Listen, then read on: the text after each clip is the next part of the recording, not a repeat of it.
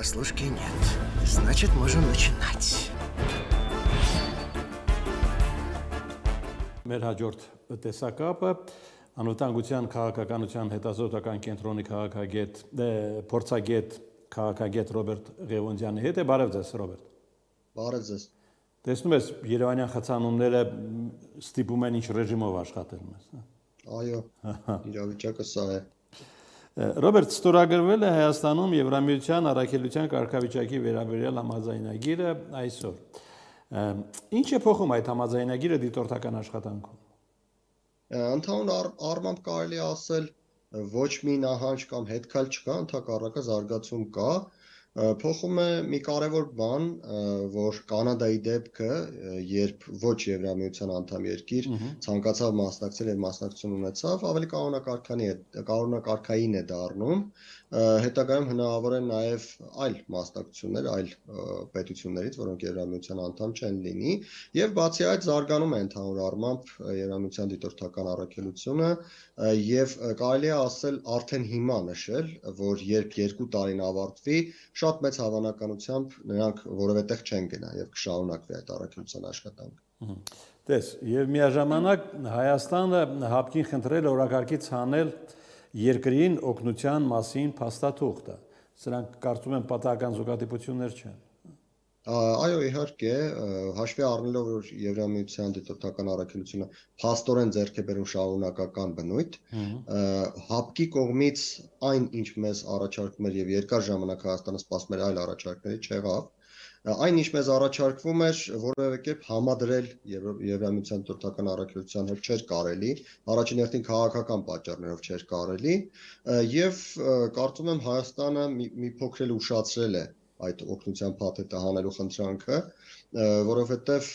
տեսեք դիտորդական առաքելություն ստանալ հապկից այն դեպքում, երբ առաջին հապկը չի կատարում իր կանոնադրական պարտականությունները։ Երկրորդ Հայաստանը հապկի ոչ մի միջոցառման չի մասնակցում, փաստացի սառեցված է Հայաստանի մասնակցությունը։ Եվ երրորդ Հայաստանը սպասում է մեկ այլ առաջարկ, այլ հայտարարություն, որը նույնպես հապկի կողմից մենք չենք ստանում։ Այս պայմաններում դիտորդական առաքելություն Հայաստանը չեր ընդունի ցանկացած դեպքում։ Իսկ մնալ այդ օգնության առաջարկի տրամաբանության մեջ ես կարծում եմ խանգարում էր մյուս կողմի հետ հարաբերությունները զարգացնելու։ Եվ հուսանք, որ սա այլ հետևում չէ նաև օրը, երբ կհայտարարվի ընդհանրապես հապկլկելու մասը։ Եվրամիության հատուկ ներկայացուցիչը Տոյվո Կլարը այսօր Բրյուսելյան հանդիպան հավանականության մասին է խոսել։ Ինչու է Տոյվո Կլարը ասում մի բան, որը այս պայն քիչ հավանական է, Ռոբերտ, ինչ ես կարծում։ Տոյվոկլարը ասում է այն ինչ իրենց ձեռնտու է, դա քաղաքագիտական լեզուն անվանում են ապագայի կանխատեսում կամ կառավարում, եւ փորձում է այսպիսով որոշակի նախադրյալներ ստեղծել հետագայում, եթե հնարավոր լինի Ալիևին Բրյուսել տանելու կամ ընդհանրապես արևմտյան որևէ հարթակ տանելու համար։ Բնական է, որ Ադրբեջանը շարունակելու է իր գիծը եւ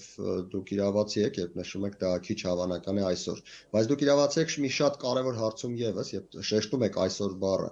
աշխարհը այնքան արագ է փոխվում, որ ցանկացած պահի կարող է ամեն ինչ փոխվել, կարող է ընդամենը 1 ամիս հետո Ադրբեջանը ինքը ցանկանա գնալ արևմուտք եւ մասնակցել բանակցություններին, առավել եւս, որ այդ արևմուտքից Ադրբեջանի նկատմամբ արդեն սկսում ենք կոշտ հայտարարություններ եւ նաեւ գործողություններ տեսնել։ Բայց դե պետք է խոստովանել, Ալիևը բացել է խաղակարտը արդեն։ Ինքը հրաժարվեց Գրանադայից, Բրյուսելից, հիմա խոսում են Բրյուսելի հավանականության մասին, որը քիչ է հավանական եւ Ալիևը չի էլ թաքցնում, թե որ հարթակն է նրան ավելի սրտամոտ։ Այո, Եվրամիությունը ընդհանրապես արևմուտքի աշխատանքի տրամաբանությունը մի փոքր ուրիշ է։ Նրանք ցույց են տալիս Ալիևին, որ դուրը դեռ բաց է, դեռ կարող ես ժամանակ ունես, կարող ես գալ այս կողմ, բավական երկար է։ Բայց Ալիևը ճիշտ հակառակը, փորձում է այդ ազդեցությունից դուրս գալ հիմա։ Այո, Ալիևը փորձում է դա անել, բայց մենք խոսում ենք ոչ թե Ադրբեջանի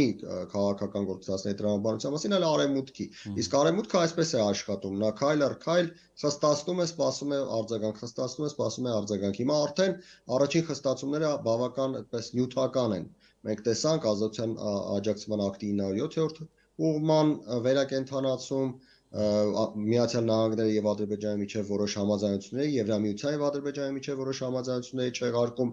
Սրանք այն առաջին քայլերն են, որոնք որոշակի առումով պետք է ըստ արևմուտքի տրամաբանության Ալիևի միտքը փոխեն։ Իսկ եթե չեն փոխի, ես կարծում եմ քայլերը կշարունակվեն եւ ավելի կկոշտանան։ Հա, Ալիև հենց այսօր բայց բայց ներողություն, բայց դուրը բաց է մնում։ Կլարի հայտարարությունը դա է։ Հա բայց կարծեմ հենց այսօր Ալիևը ասել է, որ ոչ մի արտաքին ճնշում Ադրբեջանի վրա չի ազդի։ Դա հատուկ տեղ է ասել ինքը, գիտես ինչի մասին է խոսքը։ Ալիևը շատ բան կարող է ասել, եկեք չմոռանանք ինչ էր ասում ժամանակին Սադամ Հուսեյնը եւ ինչպես վերջացրեց։ Աշխարհը այս պահին անհավասարակշիռ է, աշխարհը այս պահին չունի կարգավորված կարգավորումներ, այսպես ասենք, կամ գրված կարգավորումներ կամ պայմանավորվածություններ եւ աշխարհում այս պահին անորոշությունները շատ ավելի շատ են, քան որոշակի հստակ ձևավորված գործընթացները եւ Ալիևը օգտվում է դրանից բայց նորից մենք խոսում ենք այս պահին այսօրվա մասին ամեն ինչ կարող է փոխվել շատ արագ հաշվի առնենք որ մյուս տարի ընտրական տարի է աշխարհի շատ կենտրոններում, Եվրոպայում, Միացյալ Նահանգներում, Ռուսաստանում, Ուկրաինայում եւ դա մի փոքր օգնում է Ալիևին այդ ցայտնոտային վիճակը օգտագործել բայց դա կանցնի հավերժ ընտրական տարի չի լինելու եւ անհասկանալի է թե ինչ է անել դրանից հետո Ալիևը Ես կարծում եմ նրանց հաշվարկն այն է, որ այնուամենայնիվ ընտրությունների արդյունքում որոշակի իրենց համար ավելի հարմարավետ ռեժիմներ կգան իշխանության։ Ինչպես օրինակ Ռուսաստանի հաշվարկ։ Նույն հաշվարկը ունի նաև Ռուսաստանը, Ռուսաստանը եւս ձգձգում է Ուկրաինայի հետ պատերազմը սառեցրել է եւ սպասում է մյուս տարվա ընտրություններին, մասնավորապես Միացյալ Նահանգներում, այո, Միացյալ Նահանգներում ընտրություններին։ Եվ այս ամենը օգնում է նման նման լիդերներին, նման պետություններին օգնում է անորոշությունների մեջ փորձել ժամանակ ձգել եւ ժամանակի ընթացքում ավելին ստանալու հնարավորություններ ստեղծել։ դե- Տեսնենք թե ինչպես կլինեն զարգացումները։ Դե տեսեք, առայժմ Ալիևը հրաժարվում է եւ դիմադրում է Բրյուսելի, Վաշինգտոնի առաջարկներին, բայց չի էլ ասում որտեղ է ուզում հանդիպել։ Ինչու ասաց Ալիևը, Ալիևը ասաց, որ պատրաստ է հանդիպել Մոսկվայում, Թբիլիսիում, պատրաստ է ուղիղ երկկողմանի հանդիպման,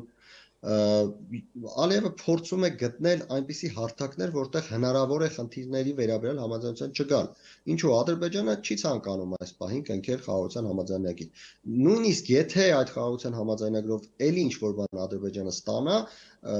եթե նայում ենք ռացիոնալ տեսակետից, Ադրբեջանը ինչին է պետք համաձայնությունը, որովհետև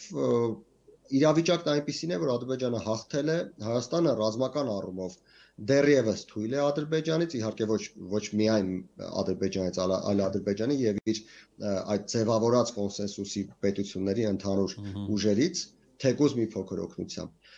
ամեն դեպքում Հայաստանը թույլ է եւ Ադրբեջանը հուսով է որ ինչպես ասացինք աշխարհում կլինեն իրադարձություններ որոնք ավելի լավ հնարավորություններ կստեղծեն իր համար եւ ինչու այս պայմաններում շտապել գնալ ստորագրել ինչ-որ մի բան եթե վաղ կարելի է ստանալ շատ ավելի լավ տարբերակ։ Այս տրամադրությամբ էլ Ալիևը առաջարկում է այնտեղ, որտեղ կարելի է չկնքել խաղաղության համաձայնագիր։ Ակնհայտ է, որ եթե Հայաստանը համաձայներ օրինակ եւ մեկներ Մոսկվա, ապա այս խնդիրները, այս անհամաձայնությունները ձգձգվելու էին հավերժ։ Այն գոնե այնքան ժամանակ, քանի դեռ իրավիճակը այսպեսին է աշխարհում։ Եւ Ալիևը հասկանում է դա եւ դրա համար փորձում է տանել այնտեղ, որտեղ չեն կնքի այդ պայմանագիրը։ Ստորագրելու ցանկություն ունեցողը կամ այդ մասին իրապես մտահոգվածը արևմտյան ադրբեջան տերմինը չի օգտագործի, բայց տես ինչ ինտենսիվությամբ են լցնում նրանք քարոշչա մեքենային իրենց այդ արտահայտության։ Այո, եւ դա հիմնավորում է իմ ասածը, ինչու արևմտյան Ադրբեջանը։ Միջալոց Պեսկովներ ցանոթ չի, որ այդպիսի արտահայտություն գոյություն ունի։ Դե հասկանալի է ձեր հեգնանքը, բայց տեսեք, ինչու է խոսում դրա մասին Ադրբեջանը, ինչ է ցանկանում դրանով անել։ Ադրբեջանը ցանկանում է դրանով տորպեդահարել խաղաղության գործընթացը, խաղաղության պայմանագրի կնքումը։ Արևմուտքը բավական լուրջ ճնշում է գործադրել մինչև այս վերջին հրաժարվելը Ադրբեջանի նկատմամբ թե մայիսին տեղ ունեցած բանակցություններում Վաշինգտոնում, թե հետո Բրյուսելում եւ Ադրբեջանը որոշակի հարցերում եկել է համաձայնության,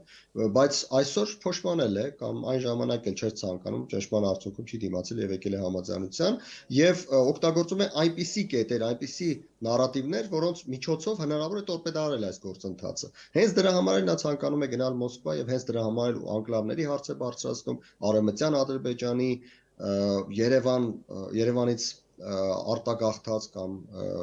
էթնիկ զտման ենթարկած իրենց իրենց ասելով ճակերտավոր ադրբեջանցիների վերադարձի հարց է բարձրացնում, այսինքն այնպիսի հարցեր, որոնք զգայուն են, որոնք խնդրահարույց են եւ որոնք հնարավորություն կտան չստորագրել ոչինչ գոնե այս փուլում։ Ռոբերտ, կարծում ես այս մտնոլորտով է պայմանավորված ԵԱԿ խորհրդարանական վեաժողովին թուրքերի եւ ադրբեջանցիների չմասնակցելը։ Թուրքերի եւ ադրբեջանցիների չմասնակցելը ակնհայտ է, ես այսպես ասեմ, շարժարիտները տարբեր են։ Ադրբեջանի չմասնակցելը կապված է հենց այս մտնորդով, ինչի մասին ես ասացի, եւ Ադրբեջանը փորձում է չստեղծել հիմքեր, որ, որոնց արդյունքում կարելի լինի խոսել Հայաստանի եւ Ադրբեջանի խաղաղությանը մոտենալու մասին։ Այսինքն նրանք չեն գալիս, նրանք ճշնամի են դեռ պատկերացնում եւ այլն։ Թուրքերի մոտեցումը մի փոքր այլ է,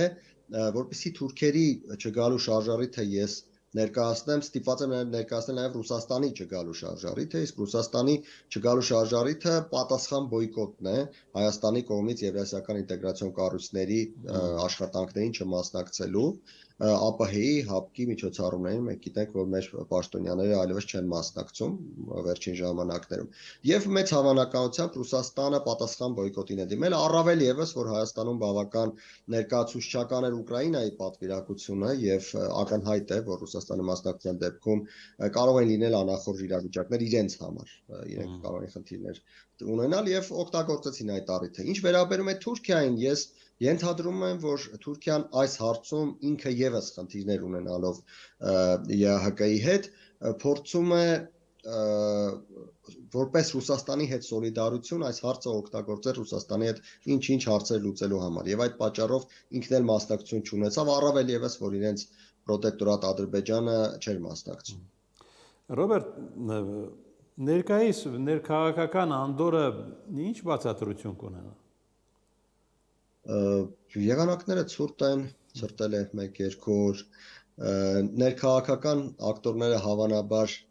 այն մասը, ովքեր գործում են որոշակի պատվերներով դեռևս պատվերները չեն ստացել, այն հատվածը, որը հույս ուներ ինչ որ ժողովրդին փողոց հանելով ինչ որ բան փոխել, այդ հույսերը կորցրել է, այսինքն ես չեմ կարծում, որ սա, ինչպես դուք եք ակնարկում, նախապատրաստություն է ավելի հուշկու ինչ որ բանի, ինչպես իրենք են սիրում ասել, սա ավելի շատ պարտությունից հետո վերքերը մշակելու ժամանակաշրջան է, այն հատվածի համար, որը քաղաքական առումով արդեն ոչինչ չունի տալու Հայաստանին, բայց փորձում է ինչ-որ անորոշություններ ձևավորել։ Եվ հավանաբար Գառնանը, երբ առաջին խմբի մոտ նորից պատվերներ կլինեն, հավանաբար գումարներ էլ դրա դիմաց, երկրորդ խումբը ինչ որ նոր հույսեր կունենա, երրորդ խումբը գաղափարական մոտիվներ կունենա, նոր այդ ժամանակ ես կանխատեսում եմ, որ Գառնանը նոր հնարավոր են նոր զարգացումներ ներքաղաքական հարցում։ Դե եթե խոստովանենք, դա Հայաստանի մեծ հաշվով Հայաստանի շահերից չի բխում, որովհետև այս պատասխանատու պահին չկա քաղաքական դիսկուրս մեծ հաշվով դա կախված է նրանից թե ինչ ենք դիտարկում ներքաղաքական անդրադարձելով եթե նկատի ունենք այն որ ձեր նշած քաղաքական դիսկուրսը չկա առողջ քաղաքական Դե Հայաստանի շուրջ կարևոր բաներ են կատարվում եւ Հայաստանի ներսում դա պետք է Հայաստանի քաղաքական էլիտան պետք է քննարկի դա բոլոր Այո, բայց բայց մենք ունենք ունենք վերջին տարիներին բևեռացված քաղաքական էլիտա, որոնց մի հատվածը իշխանություն է կազմում, իսկ մյուս հատվածը ամեն կերպ փորձում է խոչընդոտել իշխանության աշխատանքին։ Ես կցանկանայի անդրադառնալ ձեր խոսքի ենթատեքստում Հայաստանի ազգային ժողովի նախագահի վերջին հայտարարություններից մեկին, երբ հարցնում էր ընդդիմությանը, դա նորմալ է, որ ամեն անգամ դուք գալիս եք սկսում եք լեզակրի վետո քաշքշոց, ես զարմանում եմ ճիշտ ասած այդ հարցից, որովհետև Հայաստանի ազգային ժողովի նախագահը պետք է այսքան ժամանակ հասկանար, որ հենց դրա համար էլ այդ մարդիկ գալիս են ազգային ժողով, որպեսզի խափանեն ազգային ժողովի բնականon աշխատանքի ընթացքը։ Ընդ որում նրանք չէին էլ թաքցնում նախընտրական պայքարի ժամանակ խոսում էին դրա մասին, որ մենք գնալու ենք ազգային ժողով եւ թույլ չենք տալու, որպեսզի իշխանությունը աշխատի։ Այս առումով շատ ավելի լավ է, որ նրանք լռում են, բայց առողջ ընդդիմության աշխատանքի բացակայությունը իհարկե իրենց գացնել տալիս։ Շնորհակալություն։ Այսքան առողջ։